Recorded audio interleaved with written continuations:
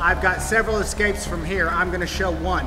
This looks like it takes a bench press, but it doesn't. This is all in my hips. This isn't a bench press.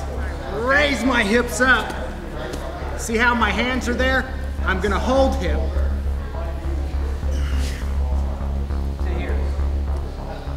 Okay? This takes no strength. If you're using strength, if you're going, ah, you're doing it wrong. Okay? So I put my hips here. Look, I'm going to throw him up with this, and I'm going to catch him with my hands. Okay? See how I caught him? I didn't use my hands. But you can work both together.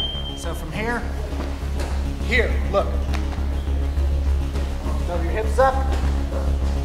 Now you got butterfly. Okay? See, look, no. Here, look.